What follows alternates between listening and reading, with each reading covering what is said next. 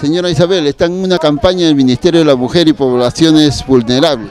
Hemos coordinado con el Ministerio de la Mujer a través del Centro de Emergencia Mujer de la provincia de Guaral para realizar esta caravana amiga. Tenemos el apoyo de facilitadoras en acción que se ha formado hace dos años y vienen trabajando para sensibilizar sobre el tema de violencia familiar y sexual en el distrito. El día de hoy estamos con la ruleta ganadora, participan las personas, incluso hemos tenido niños también que han venido a participar y ayudar.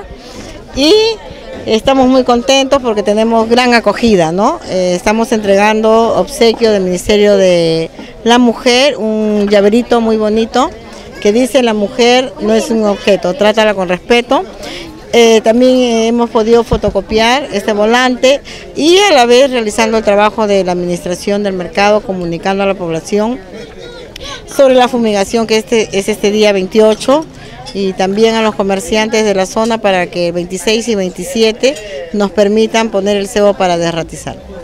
Señora, con respecto a la mujer, ¿cuál es el objetivo de esta campaña? O sea, usted dice que piensan ir hacia Lima, ¿con qué objetivo?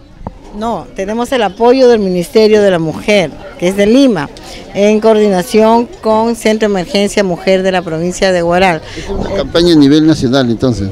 No, te repito, es sensibilizar a la población en el tema de violencia familiar y sexual, que ellos conozcan dónde denunciar, cómo, los tipos de violencia y todo lo que indica nuestra ruleta. Entonces ese es el fin principal, ¿no?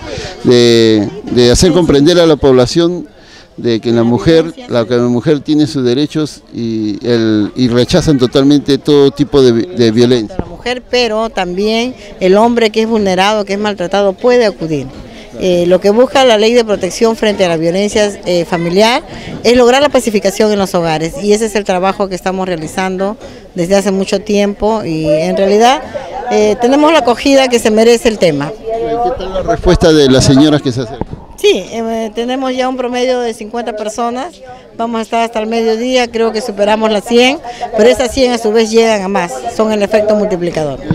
Eh, juegan con esta ruleta? Sí, las personas tienen que jugar con la ruleta, eh, sale una pregunta, si la saben en buena hora la felicitamos, ampliamos sus conocimientos y le pedimos que difundan a través de los volantes que estamos entregando.